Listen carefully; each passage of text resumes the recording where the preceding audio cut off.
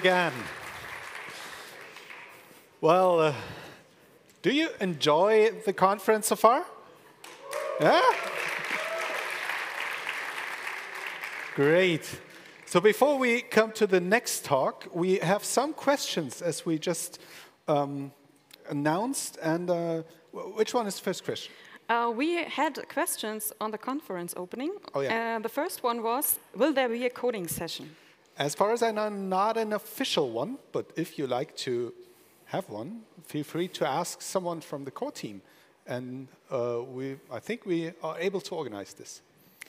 And uh, the second question was, will you show both speaker sessions live in different live streams? And as far as I know, Yeah. there are two There are two live streams.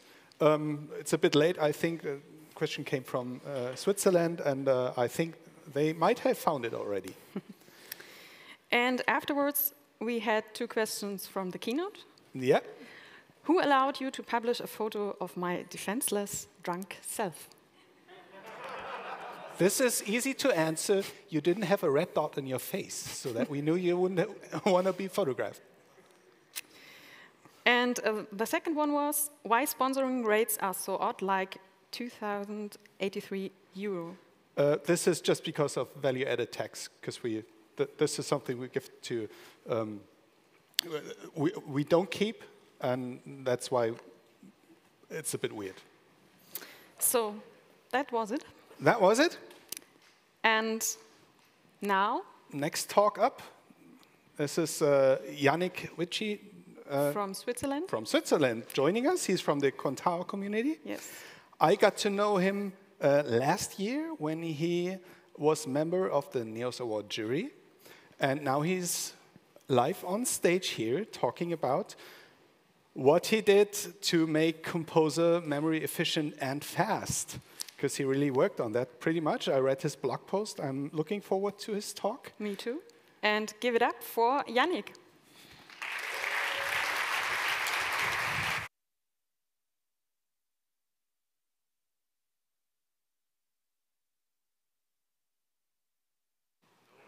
No, now.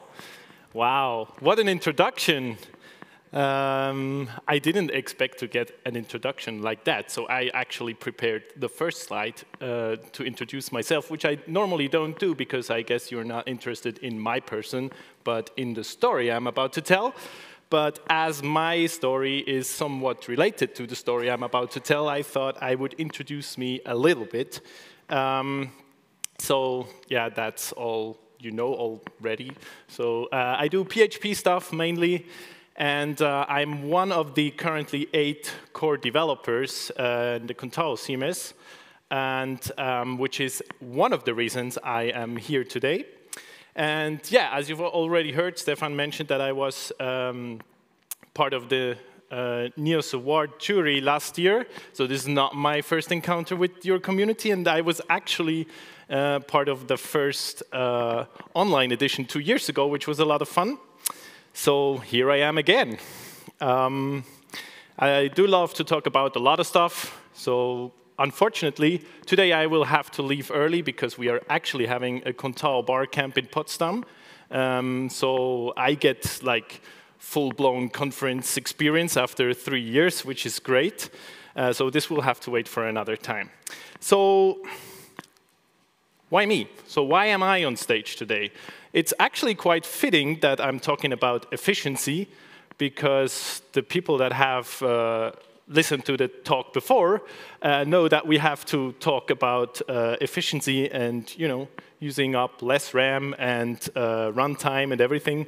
So it's actually great. So whoever did the schedule, well done.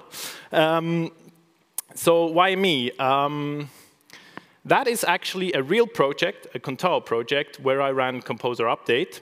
Um, it used, that's Composer 1, the latest version. It uses like three and a half gigabytes of RAM and run, runs almost one and a half minutes.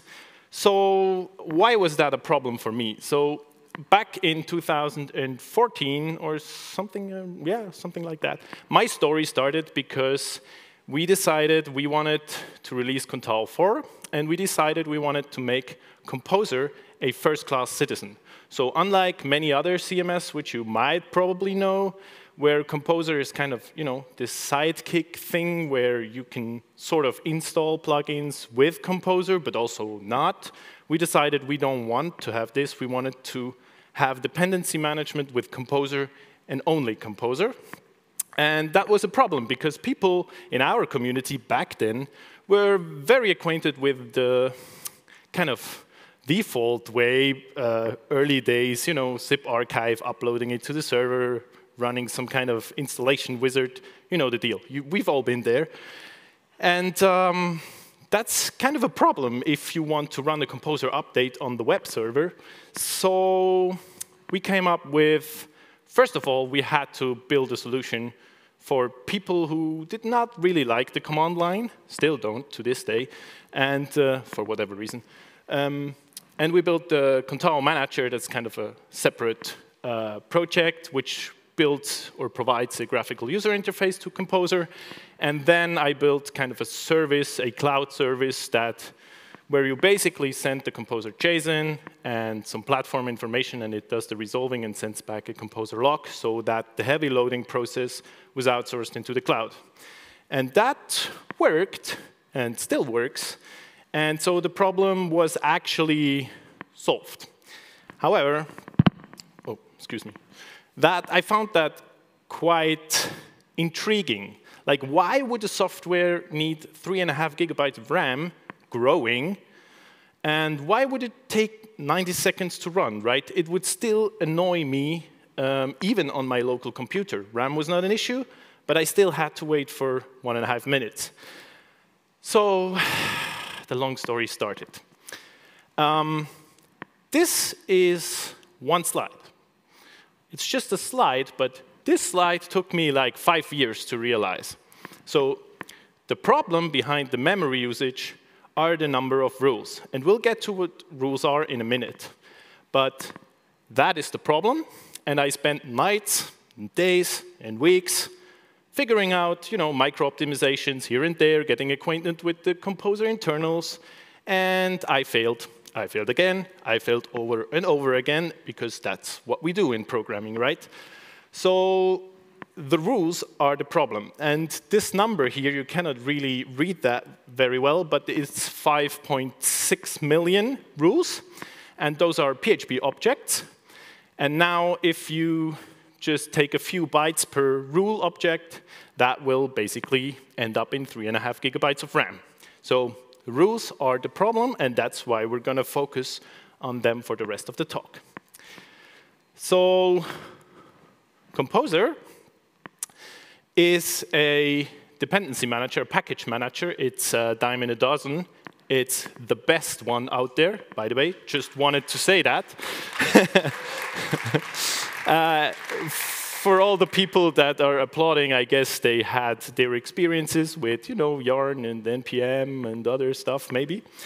So Composer's main task, it does a lot of stuff, but its main task is to find a uh, compatible solution of all the packages in your dependency tree, right? And so that only one version of every single package is installed in the end, because that's how PHP works.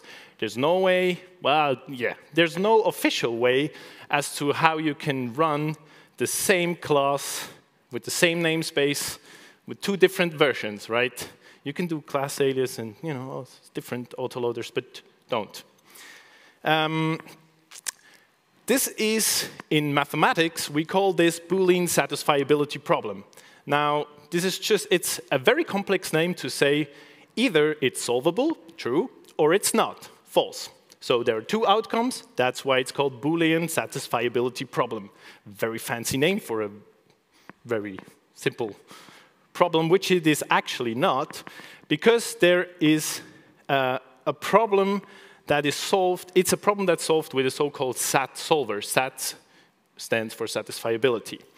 Now, Composer uses one of these SAT solvers, and if you might not have known it, that's uh, based on OpenSUSE's libsolv, so just as a side note. Now, a SAT solver mostly operates on the conjunctive normal form. And now you sit in your chairs and you go like, what? What is he even talking about? You know, it's, I didn't come here for a math lesson, right? And basically, uh, that's one big and statement that consists of or statements. And yeah, now you still sit in your chair and you, what is he talking about? So I brought you an example. Um, so basically, it's, it looks like this. So A or B, and C or B or C, uh, A or B or C, and A or not B or Nazi, and so on. So you have these uh, or statements, and they're all connected with one big and statement. Um, in mathematical notation, this would look like this. So maybe you remember something, you know, from school with this funny not notation and stuff, and maybe you don't, it's fine. I didn't either, so. Um, yeah, the letters is what we call literals, and every uh, bracket, every or statement uh, chain we call a clause.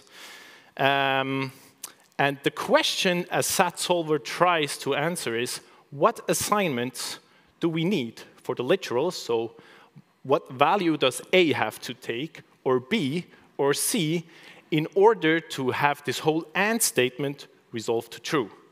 If there is a solution, then there, it would resolve to true. If there's not, false. And in our case, those literals are the packages, right? The versions, so we can find out which ones are compatible to each other. And we're going to look at that in a bit uh, more detail right now. There are actually annual competitions about SAT solving, so this is not just PHP doing some fancy stuff. SAT solving is a real problem. It's also used in AI and everywhere, and I think this year's Logic conference is in Israel, with thousands of students and professors, so if you fancy this stuff, go online and uh, join. so the SAT solver is all about pizza slices. Of course it's not, but I figured I would bring some pizza examples because that's usually easier to understand than if I were to talk about package A, package B, package C. So we're going to use pizza examples from here on. Uh, I'm sorry if you're hungry, but that's it. So I hope you can see this in the back. That's basically your composer JSON stripped down to the bare minimum. So you have a name, which is the pizza margherita in our case, and that has two requirements. It requires uh, toppings mozzarella and toppings fresh basil in some kind of constraint, right? Uh, and what happens in the SAT solver is Composer creates these literals for every single version, right? So your root project is always assigned version 1. Um, so we get this A here. Let's say that's literal A. I chose colors in order for you to see which ones belong to which ones, and also letters, because I don't know if there are people that are colorblind. So B would be the toppings mozzarella in version 3. C would be 310. Then we have uh, the fresh basil in version 2, and we have the fresh basil in version 201. So notice that every single version gets a literal assigned, right? And then what Composer does is it builds exactly these rules or clauses. So now we already know that this is what we were talking about before, where the problem uh, lies, right? But we'll see more in detail later on. But what happens is exactly this. So I will also put it in PHP notation a bit more so that uh, if these funny signs are not your thing, then maybe this one works better. So this translates, a requirement translates to either do not install the whole pizza margherita at all, or if you do, either install toppings mozzarella in version 3 or 310. And again, either do not install the whole pizza at all, or if you do, then version 2 or 201 of fresh basil. That is basically all that happens in Composer, right? Now, a bit more terminology, so for the next slides.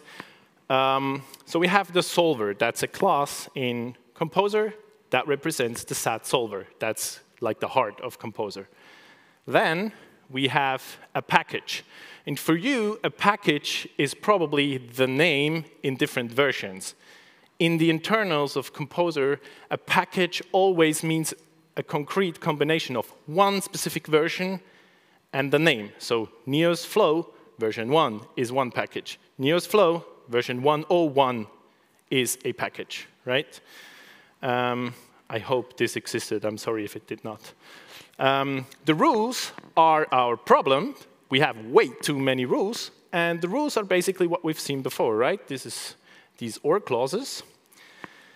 Then we have uh, the repository. You should be familiar with that. So you have packagist.org. If you use private packages, well done. Then you use packagist.com or your own GitHub or whatever VCS service. This is uh, responsible to provide all the packages, the information about the packages. And then we have something that's called pool. That's the collection of all the packages we use to then build the rules and resolve. Um, could also be named package collection. It's not. Its name is pool. So I was going to show you some of the code examples, but I figured it would take way too long if I did. So I'm just going to tell you the major design issues in Composer 1. So one of the main issues, architectural design issues, was that there was no clear separation between the pool, so the, the whole uh, set of packages, and the rules, so the SAT solver rules that were built for it. Um, so what happened is basically it looked at your composer JSON and it said, oh, okay, mozzarella, then it asked all the repositories and said, okay, what versions do you have for mozzarella? So packages, right? And then it would build the SAT solver rules for it. Up next is fresh basil. And then it would again ask the repository, give me all the packages you have for fresh basil, and then build the rules. So it kind of tried to do some smart stuff with lazy loading rules and it was basically all in vain because at the end of the day, it needed all of it anyway. Um, and that just limited us in applying, uh, we couldn't apply any optimizations because two things were done at the same time. And as we all know, separation of concern and stuff, so that was a problem. And the second problem was that it loaded all the versions of a package that existed into memory. So I picked Symfony Console because you might be familiar with this one, as I've seen it's also used in Neos. And if you look at it, it currently has like 550 tags, so 550 versions that exist. And Composer, if you require, whatever you required, Symfony Console, whatever constraint, it loaded all the 550 packages into RAM. And it did that for all the packages somewhere referenced anywhere in your tree. Um, and that meant it scaled badly, right? So I guess you have more talks on uh, how to scale stuff. This is an example of what scales badly. So Composer basically became victim of its own success. So I don't know how long you've been around, but 10 years ago, I think the first commit of Composer was April 2011. And then there was this framework interoperability group, FIG, uh, with PSR zero and all these discussions about autoloading and stuff. So the world we live in today is actually very good for PHP. So 10 years ago, this was not uh, the case. And um, basically, Composer wasn't, was just not built for that many releases to happen, right? So the complexity grew with every release. So every time you tagged a new version of your package, the whole complexity would increase. And also, the more the communities try to collaborate with each, each other, so I'm fairly sure at some point, somewhere in Neos, some of my code is running, and the other way around. Uh, by using Symfony components, for example. And uh, yeah, so the question is now, well done, so you figured it out. Why didn't you solve it in Composer 1? This would have been easier than waiting for Composer 2, right? And the problem is, Composer also provides plugins. You might be familiar with that because Neos has one too. And there are over 1,500 uh, plugins today. And you could uh, hook into you know, the pool. You could provide repositories dynamically. You could basically do anything. And that would have just been a major BC break if we started to change architectural uh, stuff there. So that's why it couldn't happen in Composer 1. Now, straight to Composer 2. So today I'm talking about my story, which means I'm going to leave out a lot of stuff, a lot of optimizations that went into Composer 2, um, which is a pity, but it's just we don't have time to look into all the stuff that was is better in Composer 2. And there's a lot of stuff. So better protocols. We have parallel file downloads of metadata, of uh, you know, the packages, uh, unzipping the file, so once it's downloaded all your dependencies, it needs to unzip them, right? And that's done in parallel. Um, more complex stuff with the constraints have been improved. And that's all work that was done mostly by Nils and Jordi, the creators of Composer, and they had to do it with PHP 5.3, which is kind of impressive because, you know, parallel stuff with PHP 5.3 is no fun. So yeah. But the major improvements I'm going to talk about today uh, is uh, happened in the dependency resolution process. So where the SAT solver actually resolves the problem and gives you the result of what is compatible to each other. Um, yes, so we're going to look at it a bit more in detail. Now, all of the improvements I'm going to talk about have the same goal. They share it, it's we want to bring these 5.6 million rules down to a manageable number of rules because otherwise they're always going to use three and a half gigabytes of RAM, right? And this happened in three key areas. We have the multi-conflict rule. This was released in Composer 2.0. We have the pool builder that was also released in 2.0. And then we have the pool optimizer that was released uh, with version 2.2. Uh, yeah, as a Christmas present last Christmas. I gave you my heart. Um, yeah, so let's get straight to the multi-conflict rule. Um, require rules, we've already looked at them. So this is the same example as I showed you initially. So we know how a require rule looks like.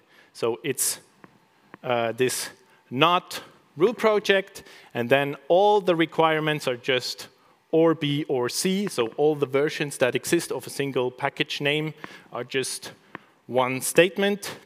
And this means as soon as you define a new require rule in your composer JSON, it basically ends up being one clause, one SAT solver rule, which is great. So one more just means one more rule. There's not a lot we can optimize about that, right?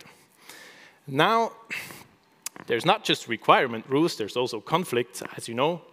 And um, for this example, just does not make a lot of sense, uh, but just imagine that our pizza margherita would now conflict with mozzarella and fresh basil, but we would still have the same examples, so the same literals, the same versions. And just as a reminder, this is what it looked like for a require rule. And now you could go and say, so conflict means not installing, so clearly we just have to negate the literal, right? So it would, like it would look like this. So again, either no pizza margherita, or not uh, the mozzarella, or not the version, uh, I mean version 3 of mozzarella, or 3.1 of mozzarella, and so on. But some of you might have already noticed while I was saying it that this cannot work because it means either not B or not C. So that means one of them is allowed, right? Because it's or. But it's a conflict. We want none of them installed. And so that, unfortunately, doesn't work. Now, conflicts is, are represented in what we call two literal rules, because always two literals. That's what it would look like. So not B, and not C, and not D, and so on. So that means there are as many rules as there are conflict uh, combinations, right? Uh, it's not so good, but you could argue that, you know, in your daily business, you would more frequently use require rules rather than conflicts, right? But there's this uh, concept of self-referencing conflicts. So have you asked yourselves, how does Composer ensure that it only ever installs one version of the same package? So how does it know that if I say Neos flow in version 1 or 101 or 102, how does it ensure that only one ends up being installed, not all of them? Right, conflicts. So every version conflicts with every other single version of the same package. For the ones of you uh, familiar with combinatorics, that is called n choose k. That means k in this case is always 2, because it's two, a two literal rule. So how many combinations with 2, I mean when you choose 2, are are there in, let's say, we use the, the example we had before, Symfony console. So let's just assume 500 packages. How many combinations can we do if version 101 conflicts with 102, 103, 104, 105, and so on? So all the combinations, and I did the math for you, that's almost 125,000 rules just for one package. So it's no wonder you end up having 5.6 million rules, right? Because usually we don't just have Symfony console installed. And that's basically what the multi-conflict rule is all about. Because Nils asked, asked himself, so what can we do about that? What's special? So if the pizza uh, margherita conflicts with toppings mozzarella in version 1, we cannot optimize a lot of stuff because it could conflict with version 1, but not with version 2. So there's not a lot about that we can optimize. However, these self-referencing conflicts, so the same package name, they are special because they always and always conflict all of the other ones, right? So it, there's no way Symfony Console 1 would not conflict with 2 or 3 or 4. They all always conflict with one another. And there's no exception to that. And Nils actually managed to represent exactly that case with one single rule, which uh, required special handling in the solver, which is also the reason it wasn't done in Composer 1, because it's kind of surgery on the on the heart of Composer. And yeah, that just meant he was able to reduce the 125,000 rules down to just one. And that was obviously a major performance improvement. That was this pull request, uh, yeah, that was merged in November 2019. So on to the second optimization.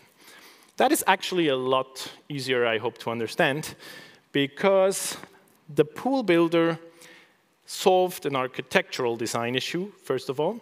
So it separated building the packages or finding all the packages that are relevant, and then building the rules in a second step. That's the first thing it did, and that's uh, relevant for the next uh, slides. And it optimized the problem that it would just load all the Symfony console versions that were ever released to loading just the ones that were re referenced somewhere in your dependency tree. So if your root composer JSON contained Symfony console version, let's say 4.4 LTS or 5.4 LTS or 6, whatever, then there's no need to load any version 2 or any version 3, right? And that's what the pool builder did. Um, and for that pull request, it took me ages to build that. But, uh, and there were also lots of foundation work was needed, which was also done by Jordi and Nils, so If you ever feel like you want to uh, give something back to them, then please sign up to Private Packagist or you know sponsor them on GitHub because they do a, an amazing job. We're really, really fortunate in the PHP community to have those two. Um, yeah, and that again meant a massive reduction of packages and thus less rules that were generated, another performance improvement.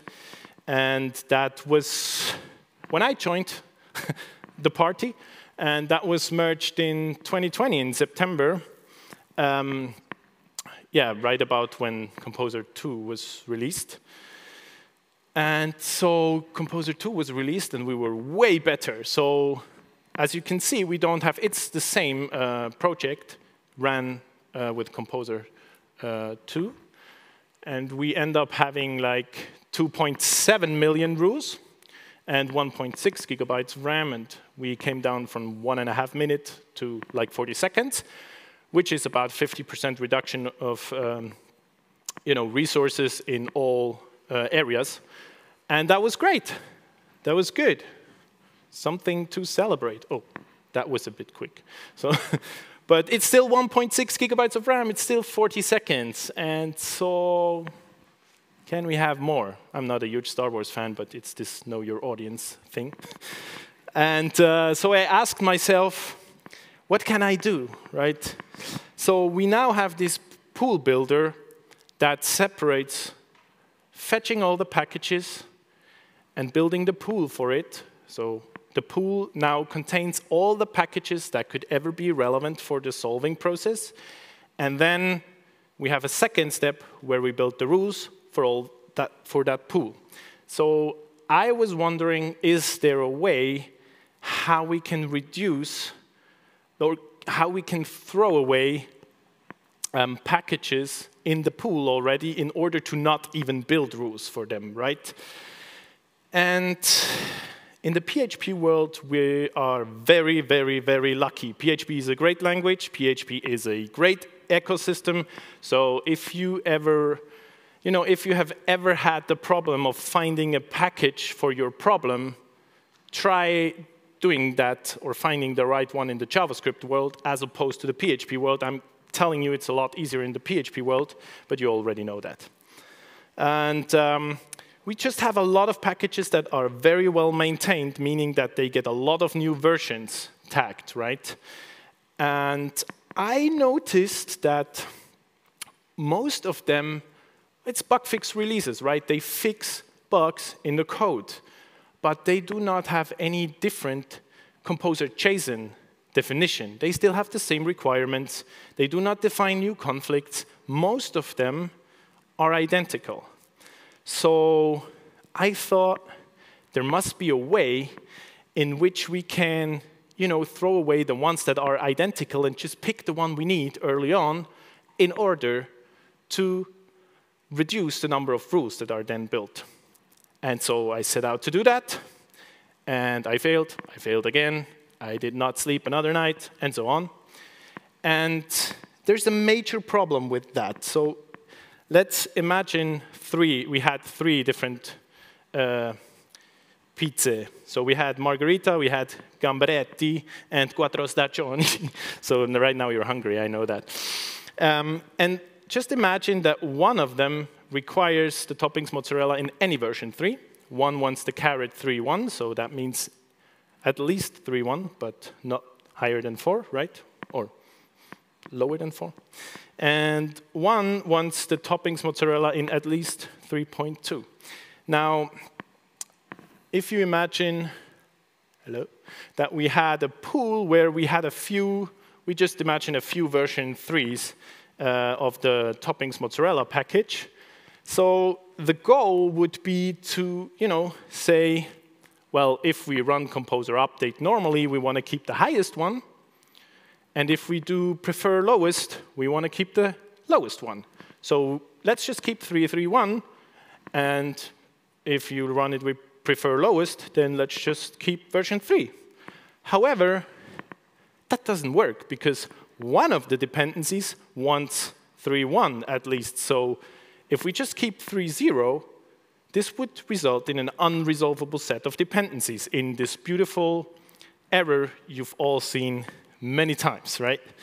So it's not as easy as just picking the lowest one or the highest one because nothing in Composer is ever easy, so obviously it couldn't work. And so I tried to think of a solution for that, and I came up with dependency groups. Now, what I did is I just, now that we have a pool that contains all the packages, we can analyze that pool. So I could loop over all the packages, and I could find out what packages require toppings mozzarella and in what version constraint, right? So I could do this. I could loop over them and just assign the versions to the different groups, right? So which version matches what constraint? And then what we do is we filter within those groups, right? So in the regular case, when you do composer update, this means we can filter in this group and we pick 331. In this group, we filter 331. In this group, we filter 331. So what this translates to is we have to keep one package and all the other packages can go away because they will never be used. So that is one problem, but we've already seen that this is easy in the regular composer update case. But with the prefer lowest, what would happen now, as we only filter within these groups, we have to keep 300. We have to keep 31, and we have to keep 32. And that way the problem is solved. It means we need to keep three packages instead of just one, but hey, we can still throw away a lot of other packages, right? And it's a lot more complex than that because, again, it's Composer. So, um, you know, there are aliases which you might use. You might be familiar with the replace notation. There are also provides, and there are conflicts, and there's a lot of stuff which doesn't really matter for this talk. The main thing is we managed to pull it off. And uh, yeah, this got merged in November last year after writing tons of tests and having a lot of support by Jordi and Nils, which I'm very, very grateful for. But uh, this pool optimizer is able to filter out over 80% of all the packages that made it into your pool. And so we end up with Composer today. Um, just as a reference, this was the initial slide, Composer 1, 90 seconds, three and a half gigabytes of RAM, same project.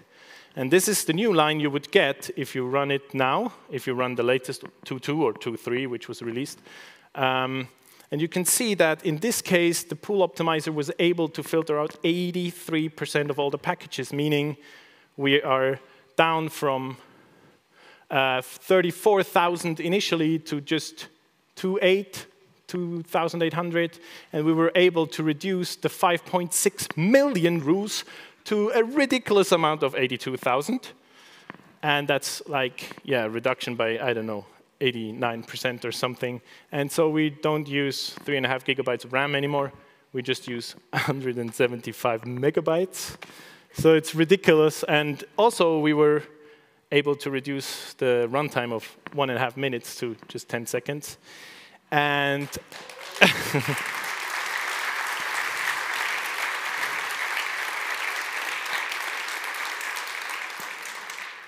And um, another number you might not know, but Jordi told me that he has some statistics on it. So every time you run a composer update on your very laptop, or whatever on your machine, you're one of 3 million this day. 3 million composer updates. Sure, there's CI. It's probably not all human. I would be astonished if it was. But it's a lot. It's a lot of composer updates. And by reducing the amount of resources it uses, um, we can just, you know, it's good for the planet and makes me very proud. So that's uh, one thing where we can probably improve the the planet or when, where we can help for those that were here in the previous talk. Yeah, and that's about the story I have to share.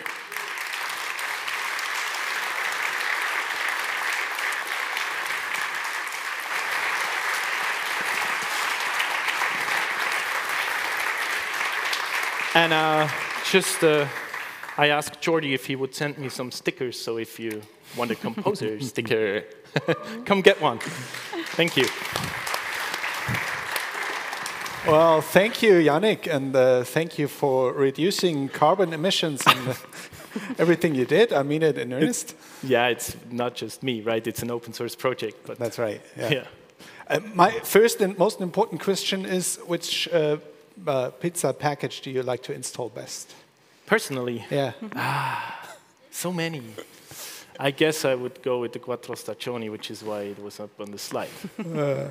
but I also like, yeah, Gambaretti is fine too. Ah, any. Pizza is always good. Yeah, you're right. No, very good. Very understandable. You made a very complex topic into. Uh, that's why I liked your blog post so, so much as well, because it's very uh, understandable for everyone. Thank you. Oh, perfect. We have a question. Yes. we? We have a question. Does Wildcard require lead to lead loading all the available versions? It does, yes. That's why you should never use a wildcard. Also for other reasons. It's dangerous. Don't do it if you can. But yeah, it really depends on what exactly you are requiring, right? If you do that on a platform requirement, for example, there's only your plat you, you only have one version, the one that's installed, right? So if you do the, the star requirement or whatever this is called, then it's only one that's loaded because there is only one. But if you do that on Symfony console, it will still load everything into uh, RAM. Yes. It will optimize a lot. The pool optimizer will optimize a lot, but it will have to do a lot of work. Yeah. And they're coming in, the questions. Oh, wow. How long did the journey take in total? In total, I mean, the amount of work or the journey in like my. So it took off a lot of years of my personal life. I mean, I, I think I will die early because of this. no, I hope not. No, I uh, started, as I said, in 2014, around that time. And then I met Jordi and Nils on conferences, and I kind of had a lot of support along the way. So they were very open. They answered my stupid questions over the time until I got familiar with the internals. And uh, I don't know, work time, weeks, I don't know, Okay. a lot. It's just, yeah, just what you put in. I mean, took many attempts. So it, I just showed the, the end product now, but it took many attempts because, as I said, I failed. It's not like I just sat down and knew what to do. I Do you had have no idea. Any like other hobbies where we can expect performance improvements in the mm. future? No, I don't know.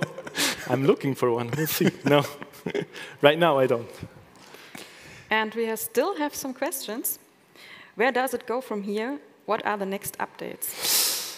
Whew, I don't know. It's an open source project. It's whatever you make it. but I think in terms of dependency resolution, there's not a lot we can do anymore. But there's probably uh, more parallel stuff that, that can be done. I don't know, or just some pre-calculation stuff. Like, yeah, maybe if you happen to resolve the same things for the same projects over and over again, maybe, you know, there's some resource bundling that could happen there, but it's also dangerous. So, mm, not sure. There's a lot of stuff we can optimize, but I'm sure somebody will find something. And the last question: When Composer, when Composer One gets shut down? That I don't know. I'm not one of the maintainers. So I guess it's whenever Jordi and Nils feel like. I, I know that they have to maintain the old packages uh, stuff still. Um, packagist.org, as I said, there are two protocols, and they still have to run the old one, and that has a big impact on uh, the ecosystem. So still a lot of load there, but I don't know. That's up to them. So maybe for the next talk, you will have to invite Jordi again or Nils. So that's from the audience. Very good, thank you. If, if we miss some questions because we uh, have to uh, reload the page uh, over time, just uh, shout out and we're gonna look at it again. I know we missed an interesting question from last talk, so you can go to Stefan and ask him. For now, thank you, Yannick. Thank you. Thank you welcome. very much for this very interesting talk. Thank you for having me. Have a Perfect. nice and we, trip to we still Potsdam. have also a present for you. I'm sorry. Sorry, I forgot. Uh, this is again a bottle of gin for your journey to Potsdam. Thank you very much. I will try not to drink. Thank you.